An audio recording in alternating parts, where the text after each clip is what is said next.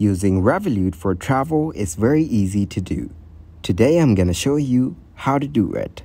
Here are some tips to keep in mind when using Revolut while traveling. Ensure your identity is verified in the personal details section.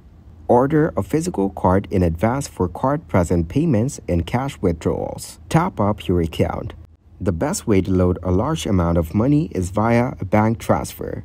We recommend adding money automatically to avoid travel fund shortages. Activate your card before traveling to ensure that you can use your card without any issues. Exchange GBP to USD in your Revolut account before you go, which involves a currency conversion, or just spend, and your card will automatically convert the currency to USD at the best available rate. Existing Revolut customers can book travel experiences such as tours, activities, and attractions through the app. If you're traveling in a group, you can use the Group Bills tool to send a payment request to your friends to split up the bill.